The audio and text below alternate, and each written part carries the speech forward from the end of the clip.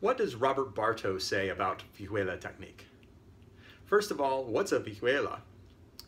Vihuela was an instrument popular in Spain in the 15th and 16th centuries. It had either five or six courses, that is five or six pairs of strings. The six course version would be somewhat like a, a modern 12 string guitar, but a bit smaller. And uh, the popular composers for this instrument in the time were uh, Luis Milan, Alonso Mudarra, and others. And I recently heard an interesting lecture by Robert Barto, early music specialist, explaining some of the techniques used. I've typically heard that vihuela and lute would use uh, thumb index alternation with the thumb down behind the index finger, and that flesh would be used rather than nail. And Barto basically confirmed that that was likely the preference thumb index alternation playing the scales with thumb under using flush. However, he provided some interesting references that indicate there might have been more diversity of practice than I might have thought. He quoted a source from Venegas de Henestrosa of 1557, who said there were four ways of doing passage work. Uh, the first way was actually dedillo, that is strumming up and down with a single finger like the index finger sort of like playing with a plectrum or pick, which was also done in that time. Um, but the idea of playing dedillo uh, was that you just use that single finger uh, back and forth to pluck.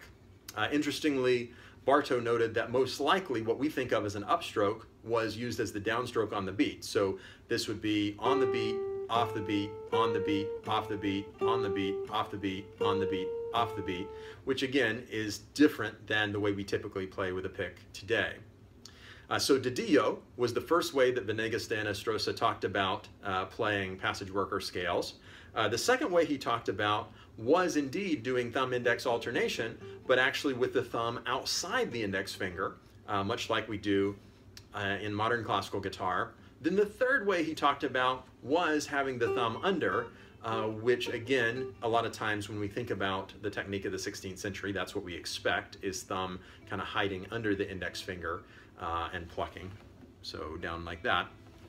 Or the uh, fourth way that Venegas de Henestrosa talked about playing passage worker scales is actually index middle alternation, which is the go-to way that modern classical guitar players will finger scales.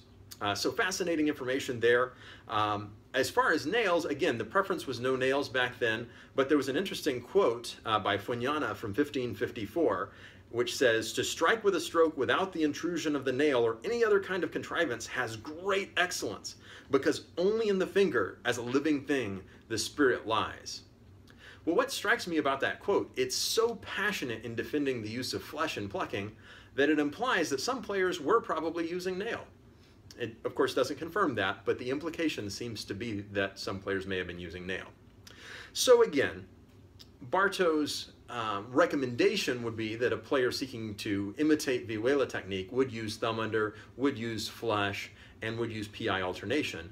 But there seemed to have been more diversity of practice in vihuela technique than I had previously understood.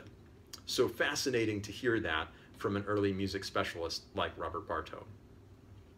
So have some fun playing some vihuela repertoire, some of the pieces of Milan or Mudarra, and keep making music.